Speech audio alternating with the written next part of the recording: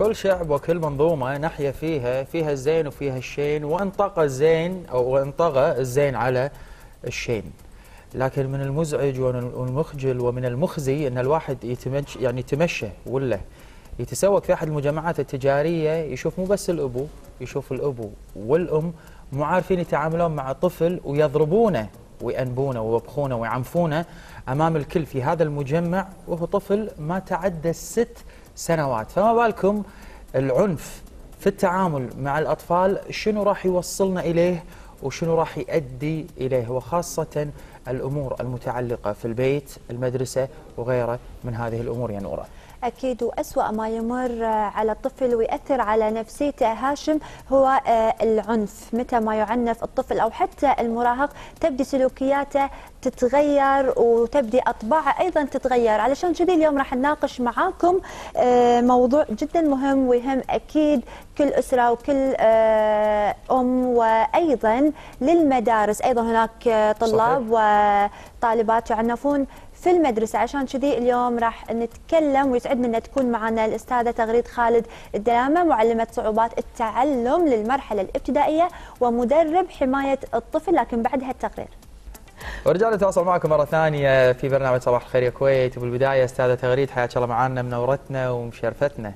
الله يحييك ويخليك. الله يسلمك ويخليك. الله صباحكم. لو تكلمينا ونتكلم عن أنواع العنف اللي من الممكن إنه يتعرض لها الطفل وشنو ممكن يصيب نفسية هذا الطفل من خلال العنف أو التعنيف نعم. اللي يتعرض له سواء في البيت في المدرسة في الشارع أو غيره؟ أولا آه، بقوله تعالى إن الله لا يحب المعتدين. آه بخصوص العنف العنف آه متوارث من الأجيال السابقة أن الطفل لما يضرب لا ينسى الطقة. سياسة العصا والجزرة. أي نعم.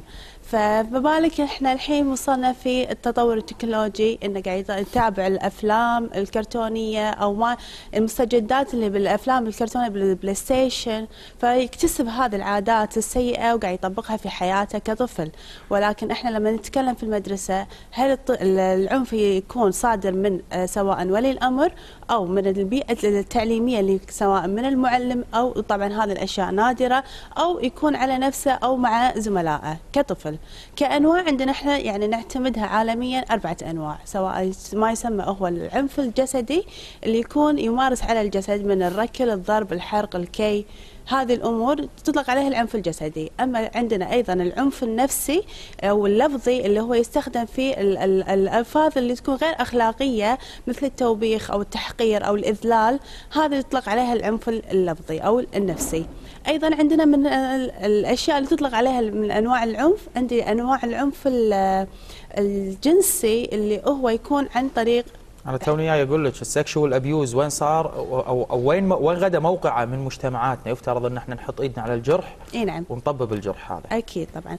بالنسبة حق العنف الجنسي هو طبعا يا إنه يكون باتصال مباشر اللي هو هتك العرض واغتصاب أو يكون بطريقة غير مباشرة مثل التلصص التعري أو إجبار الطفل اللي يكون طبعا إحنا لا ننسى إن الطفل يكون عمره تحت ال 18 هذا يطلق عليه طفل ما نحدده فئة عمرية مثلا خمسة أو ستة لا هو دون ال 18 في القانون يكون عندنا يكون عمره من تحت ال 18 آه، من أنواع أيضا العنف عندنا الإهمال. الإهمال وما أدراك ما الإهمال. الإهمال صار في مجتمعنا واضح.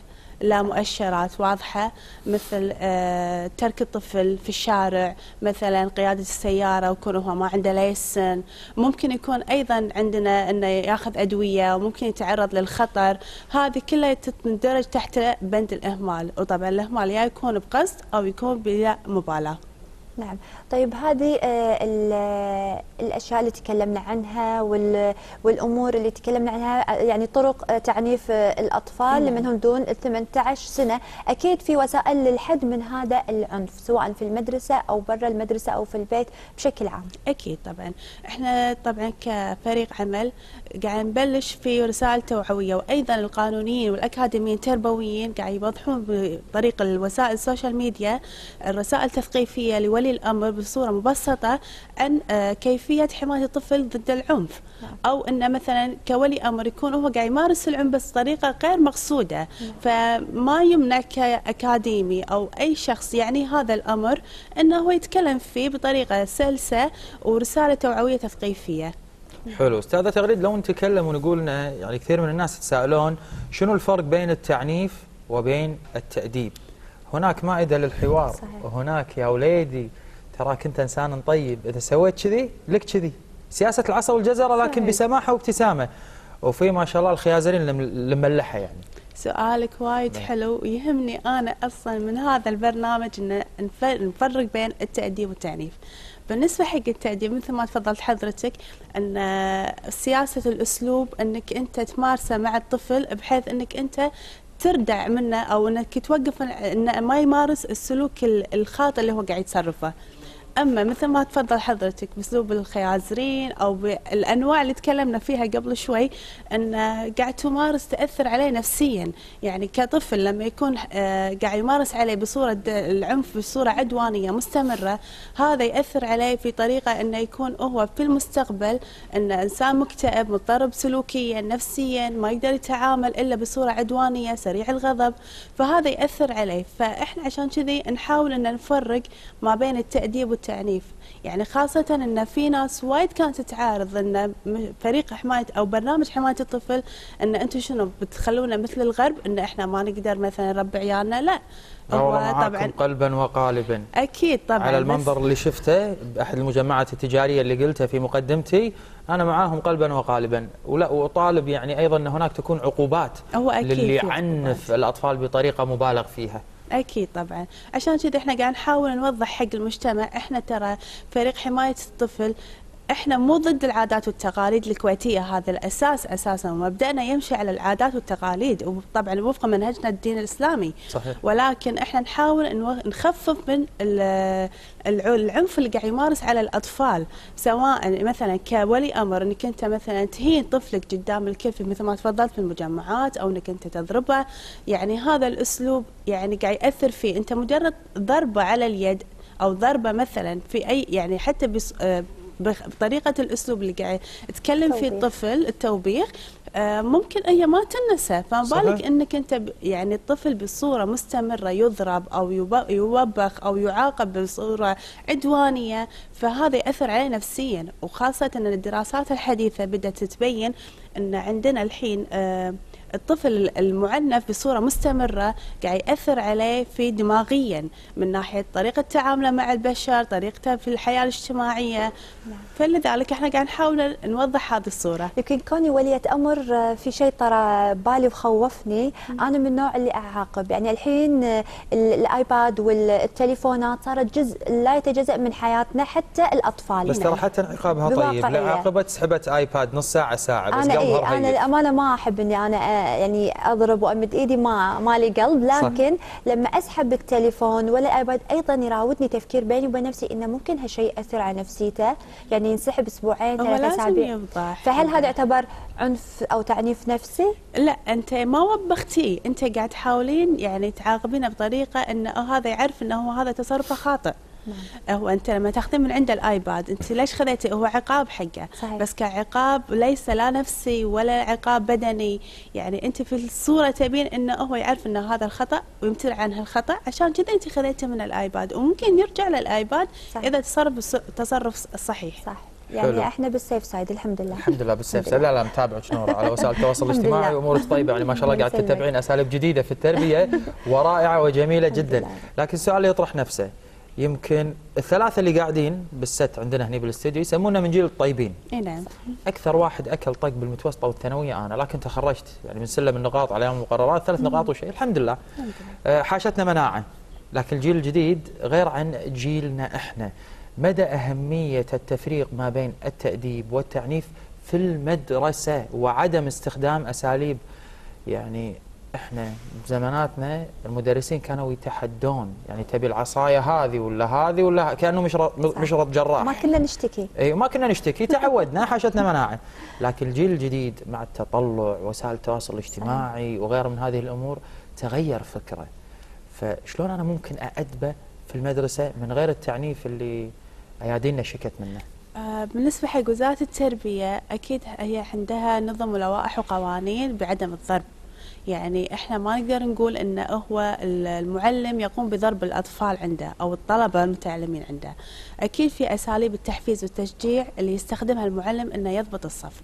ولكن إذا كان الطفل جاي لك من البيت وعنده مشكلة نفسية أو يمارس عليه العنف أو انه هو مثلا عنده ظاهرة طبعا كمعلم أو إن إحنا المفترض إن إحنا نوضح المؤشرات السلوكية أو النفسية اللي تكون للطالب مثلا يكون عنده مشكلة مجرد هايبر اكتف اي دي دي أو سي دي غيره من هالأمور. نعم. فمن خلال هذه الشغلة إحنا لما يكون في مشكلة عند الطالب عشان نحميه آه طبعا إذا كانت في رسائل طبعا كفريق عمل وتوضحت أكيد الطالب أو المتعلم أو ولي الأمر راح يهتم.